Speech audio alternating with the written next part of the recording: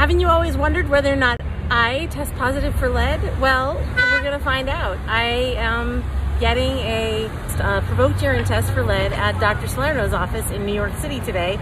This is an unexpected happening that was not planned in any way.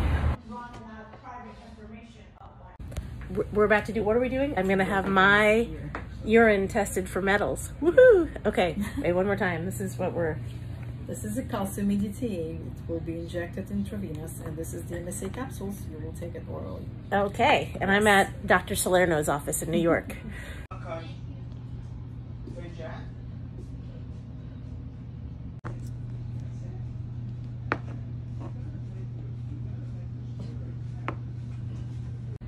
What Tamara does for fun, get her urine tested for heavy metals at a top natural detox doctor in New York City, unexpectedly and just because. Here we go.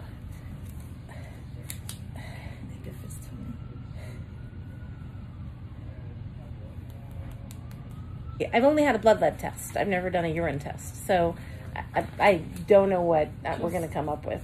Okay, just the state was collected every time when you urinate. Yeah. All urine, yeah. Okay. What are, are we going to take guesses? Should we should we take bets as to whether you want to get me on video?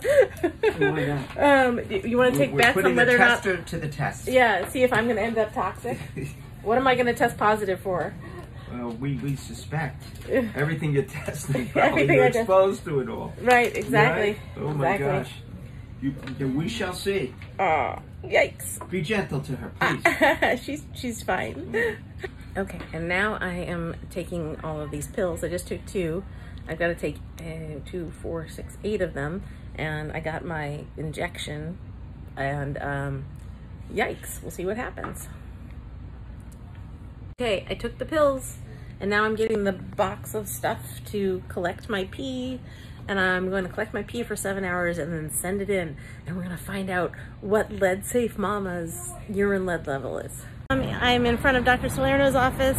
I just um, started the provoked urine test for lead and other metals. And then he's going to call me. We're going to Zoom call and get the test results together also on video. Okay, I did the collection. It's in the box.